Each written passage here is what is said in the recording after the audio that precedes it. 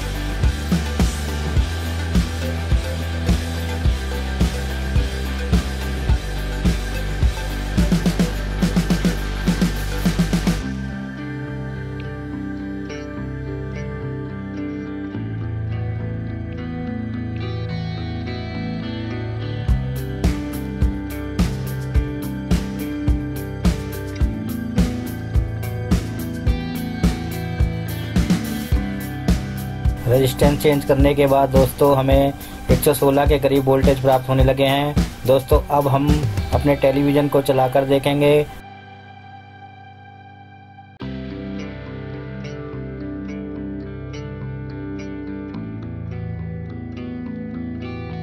और दोस्तों, टेलीविज़न चलाने के बाद भी हमारी प्रॉब्लम सेम है। अब दोस्तों, हमें अपनी किट में हॉरिजेंटल वाले सेक्शन को चेक करना है।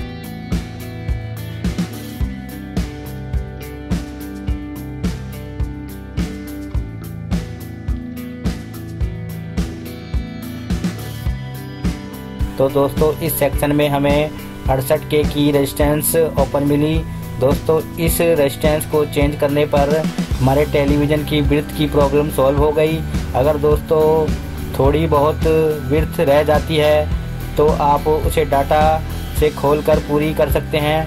डाटा को कैसे खोलते हैं, इसके लिए दोस्तों मैंने इस वीडियो में बता रखा है। आप वीडियो को देखकर अपने टेलीविज़न में डाटा खोल सकते हैं।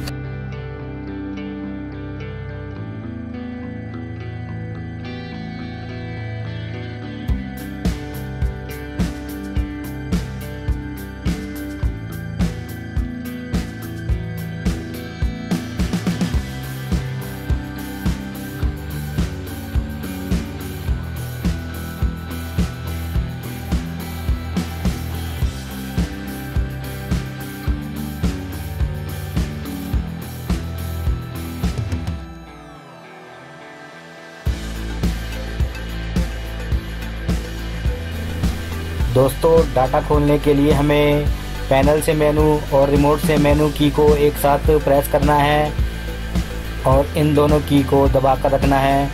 और दबाने के बाद सर्विस वन के नाम से एक पेज ओपन होगा। और दोस्तों नेक्स्ट पेज के लिए हमें फिर से मेनू बटन को दबाना है।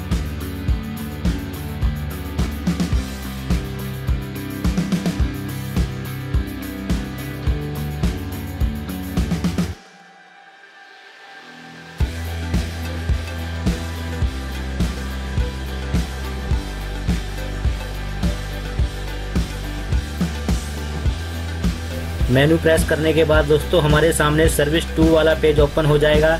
इसमें दोस्तों हमें ई डब्ल्यू विथ वाले ऑप्शन को सिलेक्ट कर कर वॉल्यूम अप डाउन की सहायता से विर्थ को कम ज़्यादा कर लेना है।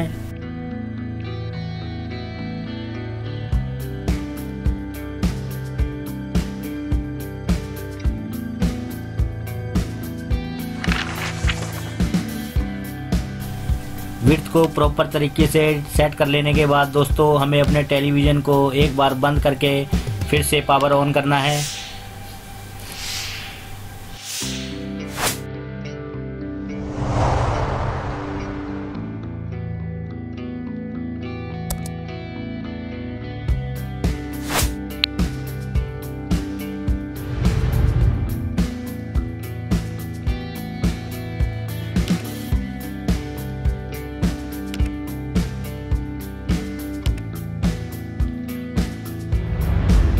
दोस्तों, वीडियो आपको यूजफुल है तो आप इस वीडियो को लाइक कर सकते हैं चैनल को सब्सक्राइब कर सकते हैं। और दोस्तों, आज की वीडियो में इतना ही।